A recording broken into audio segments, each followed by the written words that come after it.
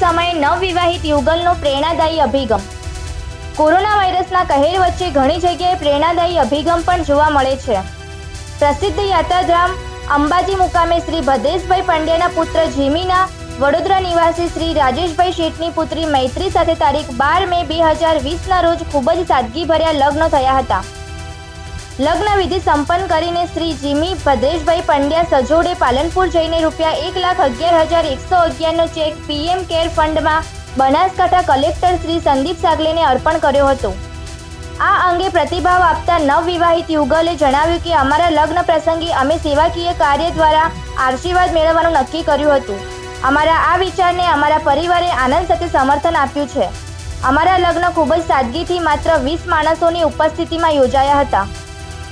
પ્રસંગને અનુરૂપ સ્વજનો મિત્ર તરફથી શુભેચ્છા રૂપે જે ભેટ પૈસા મળ્યા, તેમાં ખૂટતી રકમ મેં ઉમેરીને આજે પીએમ કેર ફંડમાં ચેક અર્પણ કર્યો છે. અત્રે ઉલ્લેખનીય છે કે પુત્રના લગ્ન પહેલા શ્રી ભદ્રેશભાઈ પંડ્યાએ દાંતા મામલતદાર કમ એક્ઝિક્યુટિવ મેજિસ્ટ્રેટશ્રીની ઓફિસમાંથી લગ્ન યોજવા પરવાનગી માંગી હતી. મળેલ પરવાનગી અનુસાર માત્ર વીસ માણસોની હાજરીમાં દરેકનું મેડિકલ ચેકઅપ કરીને સૌએ મોઢે માસ્ક બાંધીને સોશિયલ ડિસ્ટન્સ જાળવીને સાદગીથી લગ્ન વિધિ સંપન્ન કરવામાં આવી હતી. કલેક્ટર શ્રી સંદીપ સાગલે નવયુગલને શુભેચ્છાઓ પાઠવી તેમના અભિગમને બિરદાવ્યો હતો. રિપોર્ટર રતનસિંહ ઠાકોર, બનાસકાંઠા.